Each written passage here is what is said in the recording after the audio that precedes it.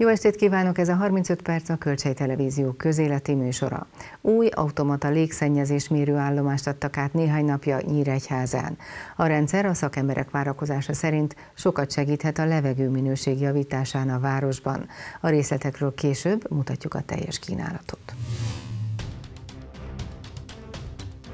Jótékonysági almanap, gyermekotthonok kapják a gyümölcsöt. Új mérőállomás, pontosabb kép Nyíregyháza levegő minőségéről. Megújult a szőttes ház, hazai forrásból korszerűsítettek Paszabon. Kiváló minőségű az idei almatermés, a hozam pedig csak nem duplája a tavainak. Többek között erről beszélt Nagy István agrárminiszter a Nagykállóban rendezett őszköszöntő jótékonysági almanapon.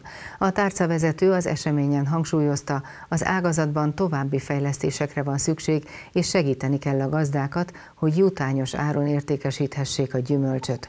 A jótékonysági almanapon leszületelt mennyiséget a kormányhivatal vármegyei gyermekotthonokhoz juttatja el hamarosan. Nagy volt a sürgés forgás csütörtök délután a nagykálói tész alma ültetvényeiben. A Vármegyei Kormányhivatal már ötödik alkalommal rendezte meg őszköszöntő jótékonysági almanapját. Az eseményen a Vármegye kormányzati tisztviselői, közéleti szereplői, hatósági és különböző ágazati vezetői szüretelték jótékony célral az immár európai oltalom alatt álló gyümölcsöt alapjában véve egy közösségi program, amely jótékonysági célt szolgál. Házigazdáinknak a felajánlásából eh, az az alma, amit eh, leszedünk, az a megyei gyermekotthonok ba fog kerülni, és az ottani gyermekeknek az étkezésztetéséhez fog hozzájárulni. Emellett meg nyilvánvalóan szól a Szabolcsi Almának a reklámozásáról. Azok a vendégeink, akik itt vannak, mindannyian egyúttal az Almának a nagykövetei is. Azt gondolom, hogy azért is meg kell mindent tenni, hogy az a mélten jó minőségű és közismert gyümölcs ez minél több helyre eljutasson, és minél több vásárlója legyen. Nyilvánvalóan ezzel is lehet azt segíteni, hogy akik almát termelnek, azok számára legyen piac is. A tavalyi évben minden rossz elérte az almatermelőket, ami elérhette. A tavaszi fagyok után a nyári asszály okozott hatalmas károkat a nagykáló tész területén is. Bölcskei György, a társaság tulajdonosa azt mondta, még az idei évre is kihatással voltak a tavalyi gondok. A 2023-as szüretnek azonban már jóval pozitívabb közhangulatban vágtak neki a termelők. Bizonyos tekintetben Jóisten rák tekintet, mert azért csapadékot küldött annyit, hogy normálisan ki tudjon fejlődni az alma.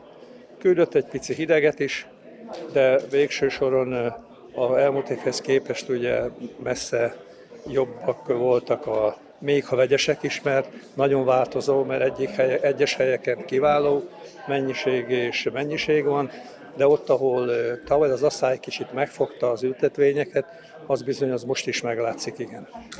Itt Nagykálóban egyébként milyen fajták vannak jellemzően? Gyakorlatilag ami létezhet Magyarországon, az mindenfajta. Ugye a főfajták, ugye az mindenképp a, ugye a gálával kezdődik, utána a golden, a Starking fajtakör, Jonagold és Idarad, de ezen kívül vannak az olyan úgymond egyéb fajták, amelyik áruházakból ugye lassan kikupok, mert ők csak a tömeget szokták venni, így ugye a Granny Smith, vagy egy, egy nagyon finom ugye fajta Fuji, de ezen kívül sok még, nekünk még hagyományos Jonatánunk is van, gyakorlatilag, meg ugye kísérletezünk olyan új fajtákkal, amelyek egyrészt egy úgynevezett később érők lennének, valamint ugye, hogy sokáig legyenek a fenntarthatók, mert az idejévnek egyik legszomorú tapasztalat az, hogy azért a mostani születkori meleg miatt ugye hamar elengedi az alma a fát, különösen aki erre hajlamos,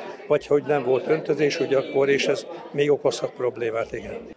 Nagy István agrárminiszter az eseményen a Szabolcsi Alma európai oltalomba vételének tanúsítványát is áttatta, majd ő maga is bekapcsolódott a jótékonysági alma szüretbe. A tárcavezető elmondta, kiváló az idei minőség és hozam, de még sokat kell dolgozni és fejleszteni az almaültetvényeken azért, hogy a termés ingadozás kisebb legyen az országban. A magyar almatermesztés hírnevét a Szabolcsi alma alapozta meg. Jó érzés kimondani ezt az egyszerű mondatot, ahhoz hasonló érzés, mint beleharapni egy almába itt Nagykáluban. A világot ugyanis nem kizárólag a bonyolult dolgok viszik előre, hanem ezek a mindennapos rítosok is kellenek a teljességhez. Például minden nap egy alma, ami jó a fogyasztónak és a termelőnek, és végső soron a társadalom egészének.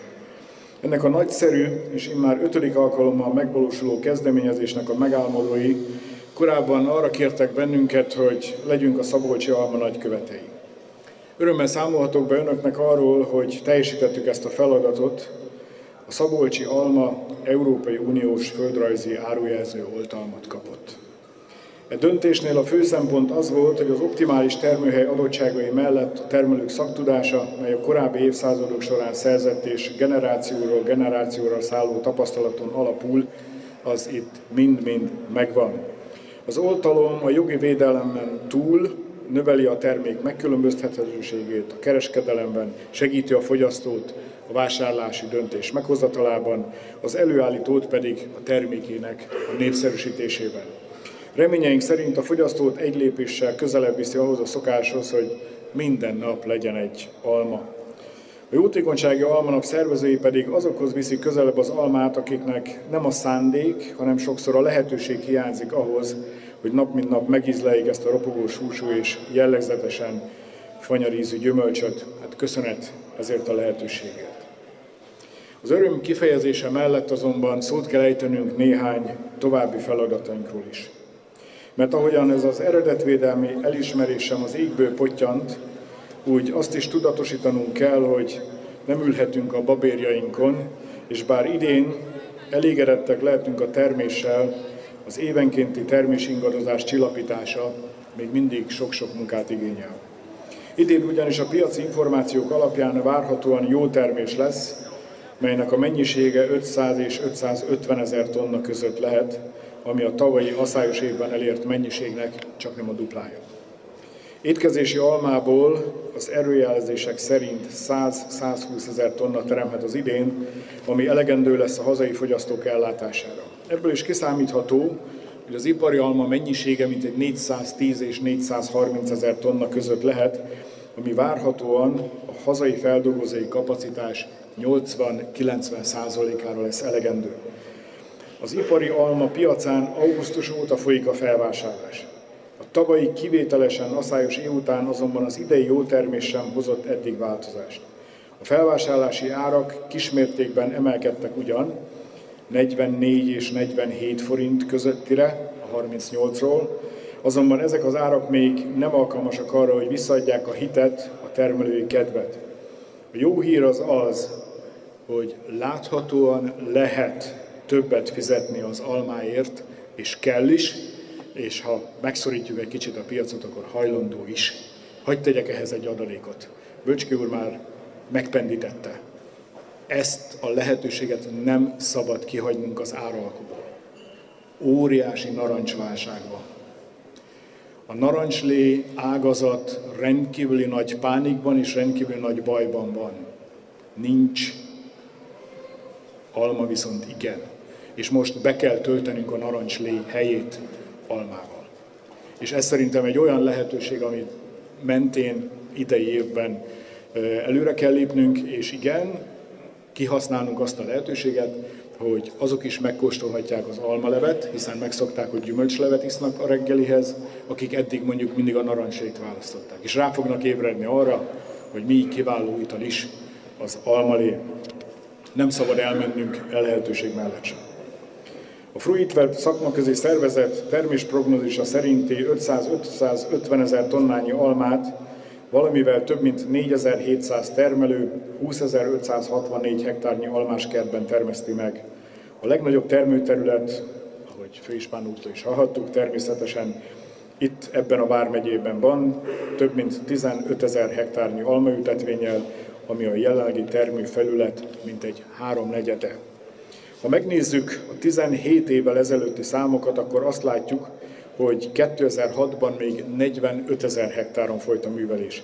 Idén ennek már kevesebb, mint a felén dolgoznak a gazdák, azonban a termés mennyisége, és ez egy nagyon fontos dolog, hozzávetőlegesen ugyanannyi, mint 17 évvel ezelőtt, amikor is 540 ezer tonnányi gyümölcsöt takarítottak be.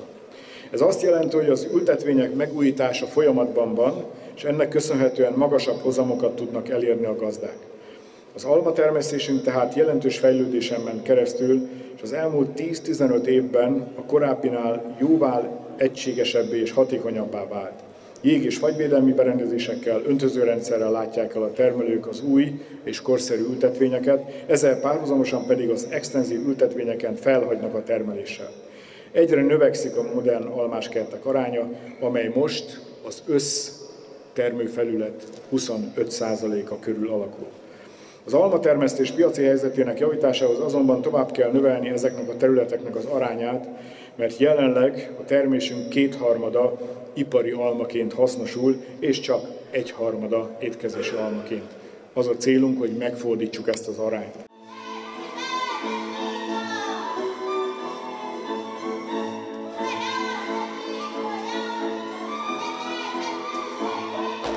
Az őszköszöntő jótékonysági almanap ünnepi hangulatához a Szabolcs Néptánc Együttes táncosainak produkciója járult hozzá.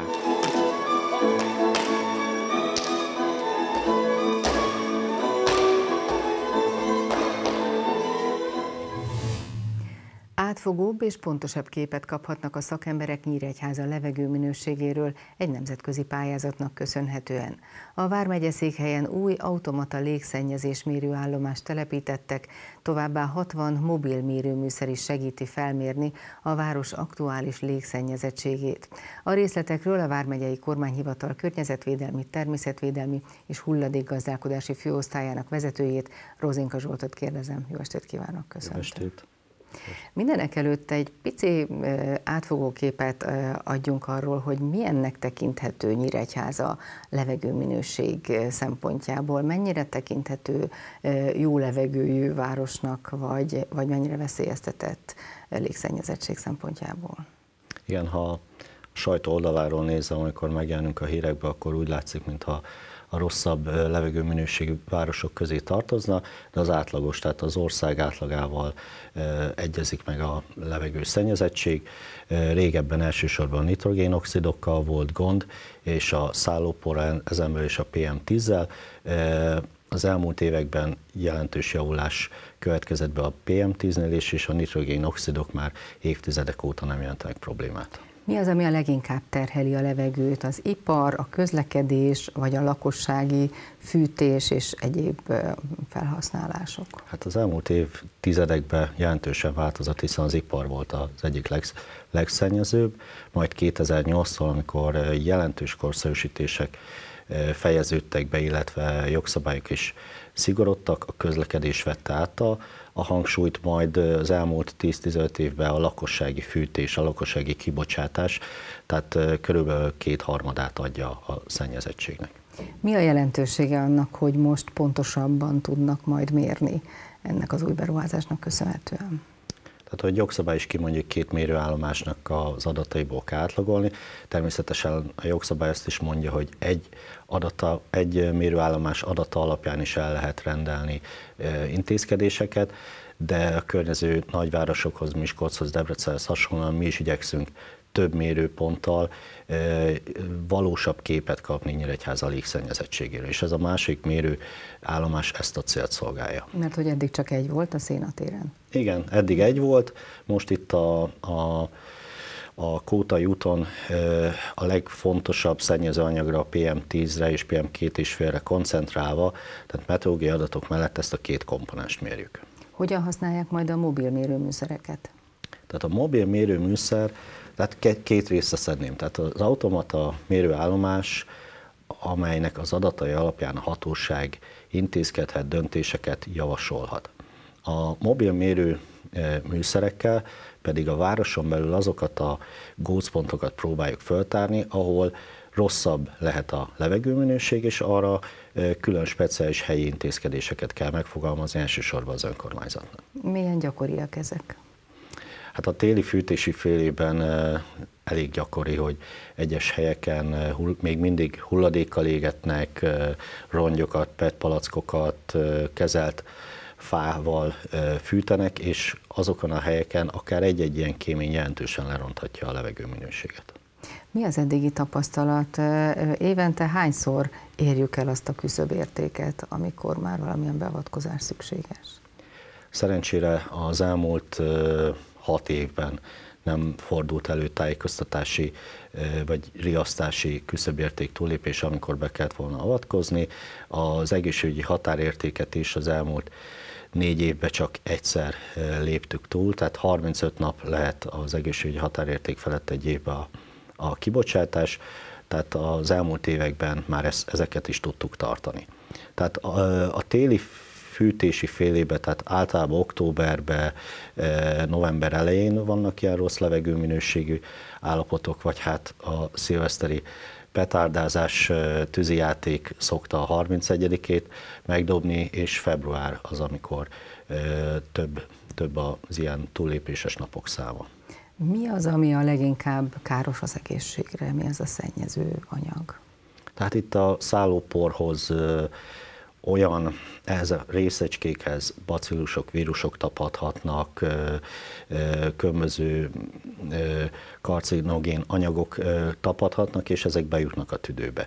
És nem hiába mondtam, hogy a PM két és felet is mérjük, hiszen már ez a részecske tartomány az, ami bekerül a tüdőbe, de ez nem is kerül ki, tehát ez fel, ö, felgyülemlik, tehát ezért kell kiszűrni azt, hogy milyen szennyezés ér minket. Mi az, ami a leginkább fokozza ezt a szállópor koncentrációt? Ahogy mondtam, a, a lakossági fűtés, tehát a, egy, hogy hulladékkal fűtenek, kettő helytelen fűtési módokat használnak, vagy vizes fával fűtenek, illetve még mindig gyakori, bár az önkormányzat megtiltotta, de még mindig gyakori a kerti avar és hulladékégetés. És ezek, a, ezek az időszakok, vagy ö, ha még társulnak egy kedvezőtlen meteorológiai körülménnyel, amikor nem tud a levegő elkeveredni, és, e, akkor ezek a szennyezőanyagok feldúsulnak. Azt gondolom éppen ez az a terület, amiben nehezen tud beavatkozni a hatóság. Talán a közlekedésben ugye jobb minőségű autók, magasabb előírásokkal, illetve az iparban megint csak egy szabályozással azért viszonylag könnyű ebbe beavatkozni. De az, hogy mivel fűt egy szegény ember, azt már nem nagyon tudják befolyásolni. Áttételesen igen, mert a járáshivatalok vizsgálják a fűtést, mi pedig a hulladékgazdálkodás területén tudunk beavatkozni, hiszen ha valakinek az udvarán nagy mennyiségű hulladék van felhalmozva, akkor mint hulladékgazdálkodási hatóság járunk el, segítve a járáshivatalok levegői tisztaságvédelmi munkáját. Mennyire tudnak ebben hatékonyak lenni? kormányhivatalon belül tehát nagyon jó az együttműködés, tehát akár hétvégén munkaidő túl is, ha ilyen bejelentés van, akkor besegítünk a járáshivatal munkatársainak, és egyre több lakossági bejelentést kapunk, és könnyebb így a felderítés. És gondolom ebben segít majd, illetve a határértékek pontos megítélésében ez az új beruházás. Milyen forrásból sikerült ezt megoldani, mennyibe került? Igen, ez egy Európai Uniós támogatás volt, cross-border egy ilyen határon átnyúló pályázat, Huskra nevezetű pályázat, amiben román és ukrán partnerekkel együtt pályáztunk. Ez egy 406 ezer eurós beruházás, ebből a, a mérőállomás az egy kb. 70 ezer eurós beruházás volt. Mi a jelentősége annak, hogy itt határon túlnyúló együttműködésről van szó? Össze tudjuk hangolni a levegő intézkedéseinket is, hiszen bár automata mérőállomás csak Nyíregyházán került így telepítésre, de a kis műszerek azok mind Szatmárnémetiben, mind Ungváron is telepítésre kerülnek, közösen tudjuk meghatározni azt, hogy milyen intézkedésekkel lehetne, hiszen a három város az közel hasonló adottságú, hasonló népességű, tehát egy közös együtt gondolkodással egymástól tanulva, egymás segítve hatékonyabb intézkedéseket tudunk meghozni. Eszközbeszerzés is történt. A humán erőforrásban történt-e változás, ami ezt alá, vagy meg, akik ezzel dolgoznak? Hát az eszközbeszerzés az pozitív, de humán erőforrásban, tehát a meglévő erőforrásokat használtunk. A létrehozott levő tisztaságvédelmi iroda is gyakorlatilag meglévő munkatársak alkalmazásával lett kialakítva. Az eszközök viszont azt segítik, hogy könnyebben tudunk bemutatni, könnyebben tudunk akár főleg a gyerekeket megszólítani a tudatformálással és a, azzal, hogy változtassunk a gondolkodásmódunkra és környezettudatosabbak legyünk. Mennyire hangsúlyos ebben a, az önök feladata? Hát az irodával ezt szeretnénk elérni, hiszen, ahogy szoktam mondani, hogy Felnőtteket elég nehéz meggyőzni, de gyerekeket könnyebb, és a gyerekeken keresztül könnyebb a szülőket, nagyszülőket meggyőzni arról, hogy, hogy környezettudatosabban éljünk. És úgy érzem, egyre inkább közeleg az idő, amikor a gyerekeink egyre hangosabban számon kérik majd rajtunk, hogy mit művelünk itt az ő környezetükkel, a jövőjükkel. Igen, hiszen az ő jövőjüket tesszük tönkre, ha szennyezzük a levegőt. Rózinka Zsolt, köszönjük szépen, hogy beszámolt nekünk mindenről. Én köszönöm. Megújult a Szőttes Népművészeti Ház Paszabon. A beruházást a Magyar Falu programban valósították meg 24 millió forintból. Az átadó ünnepségen részt vett Tuzson Bence igazságügyi miniszter is.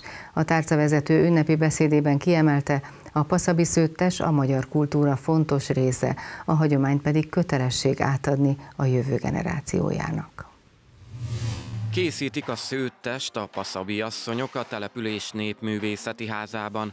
A több mint száz éves épület egykor iskolaként üzemelt, majd Turi Sándor néptanító és családja itt hozta létre azt a szőttesházat, ahol a helyi lányok nap mint nap készítették a különleges világhírnévre szertett népművészeti textíliákat. A Paszap központjában álló fafaragott tornácoszlopos épület most megújulhatott, a beruházást hazai forrásból valósították meg. 2007-ben az akkori kormányzat közkincsprogramként lehetőséget biztosított arra, hogy elkezdjük rendbe tenni a szőttes házunkat, azonban tudni kell, hogy a fent említett program hitelprogram volt. Nekünk paszabiaknak még így is bele kellett vágnunk a felújításba, mert hagyományainkat nem tudtuk volna méltóan őrizni. 2010 óta nyugodtan mondhatom, megfordult a világ, mert a mostani kormányzat a vidéket nem elfelejtve magyar falu programot indított, mely százszázalékos támogatást biztosított, és nem hitelt a kis települések számára. Ennek köszönhetően áll most itt mögöttem településünk ékszerdoboza. A Magyar Falu programnak köszönhetően megújulhatják útjaink, közterületeink, játszóterünk, óvodaudvarunk, és talán az egyik legfontosabb a temetőnk. Valamint a területi operatív programnak köszönhetően bölcsőde is épült Paszabon.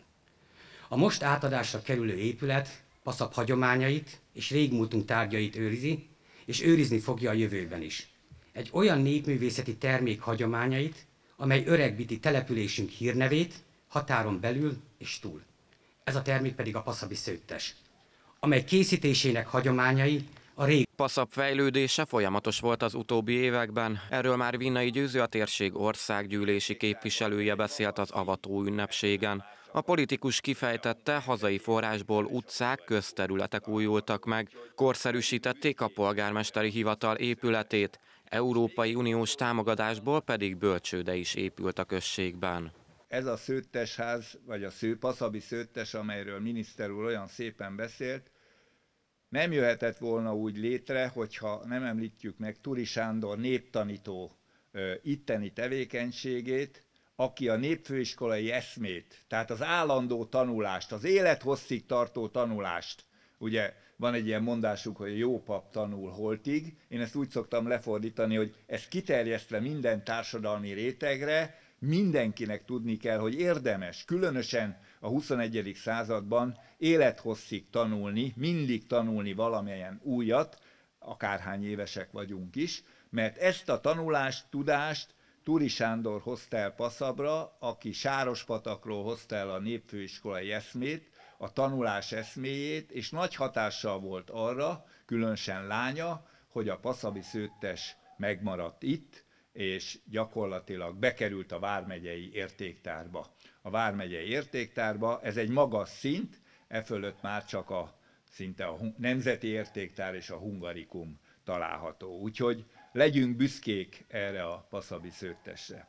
És még egy gondolatot a tanulás és a tudás mellett, hogy sok helyen el szoktam mondani, hogy egy kis településen, hiszen Paszabon közel 1400-an élnek, egy kis településen is lehet színvonalas, minőségi, tartalmas életet élni, mert jók az utak, sokat tettünk, jók a közintézmények, bölcsöde, óvoda, iskola, fölújítottuk a polgármesteri hivatalt, tehát vannak munkahelyek. A felújított szőttes házat Tuzson Bence igazságügyi miniszter jelenlétében adták át.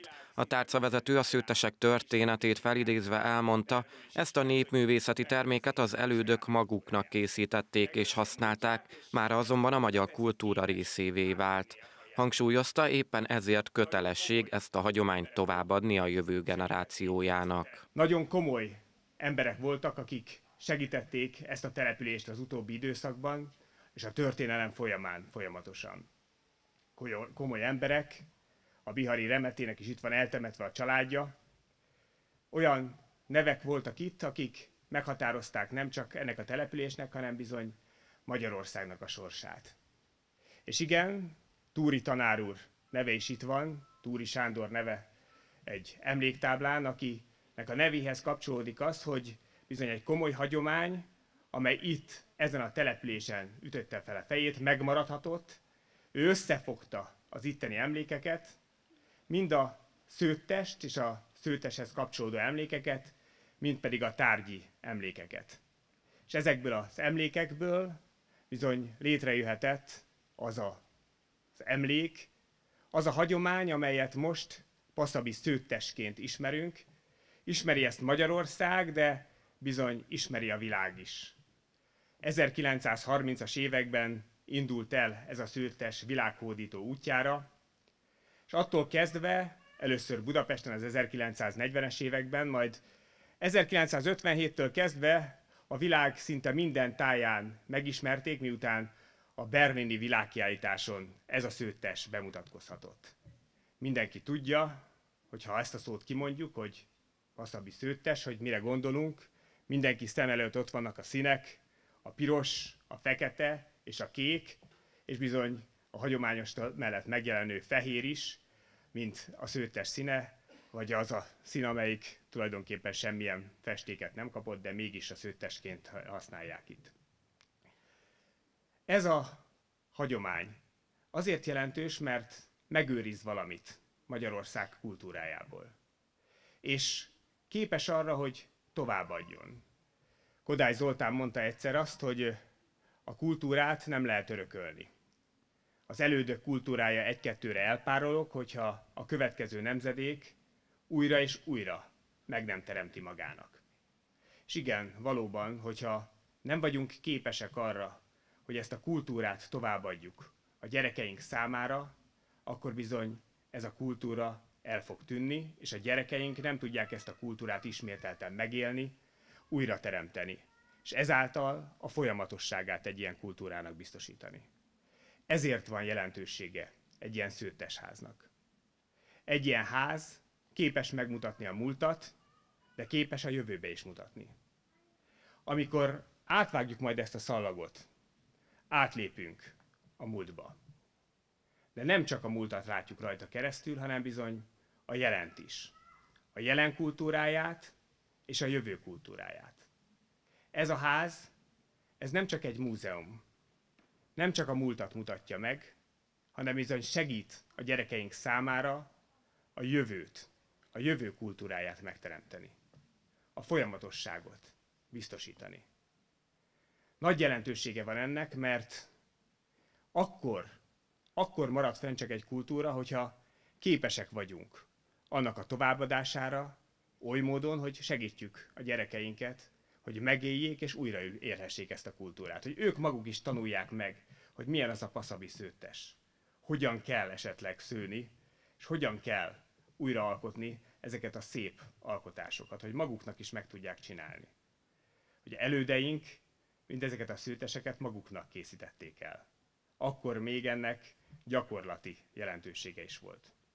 Ma már ez a kultúránk része, de ezt a kultúrát kötelesek vagyunk továbbadni. továbbadni a gyerekeinknek, és továbbadni az unokáinknak. És igen, nekünk szülőknek vannak kötelességeink. Bizonyos engedjék meg azt, hogy ezen, ezen alkalommal hagyj kérjek egy, egy valamit önöktől. Azt kérem önöktől, hogy meséljenek. Meséljenek a gyerekeiknek, és meséljenek az unokáiknak. Adják tovább a gyerekek számára azokat az emlékeket, élményeket, kulturális hagyományt, amelyeket önök megéltek. Hagy éljék meg a gyerekeink, és hagy éljék meg az unokáink is ezt a kultúrát.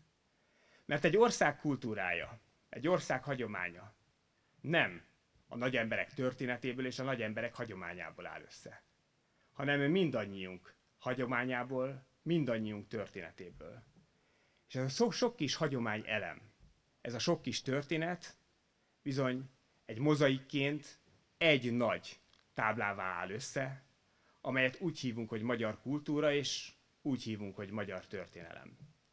És ha így teszünk, akkor, ahogy most átadjuk ezt a szőttesházat, ha majd ezek a gyerekek nagymamák lesznek, és nagypapák lesznek, ők is el fognak jönni ide, és esetleg egy újabb átadó, egy újabb felújítás során ugyanezeket a szavakat fogják tudni elmondani, hogy megélték már ezt a kultúrát, ezt a kulturális hagyományt, tudják mi az a paszavi szőttes, és ennek a hagyományát az ő gyerekeiknek és az unokáiknak tudják továbbadni. A Paszabi Szőttes Népművészeti Ház mintegy 24 millió forintból újult meg. Kedves nézőink, eddig tartott ma a 35 perc, legközelebb új műsorral szerdán jelentkezünk, amikor többek között a Felső Tisza árvízvédelmi beruházásaival foglalkozunk bővebben. Várjuk Önöket akkor is, viszontlátásra!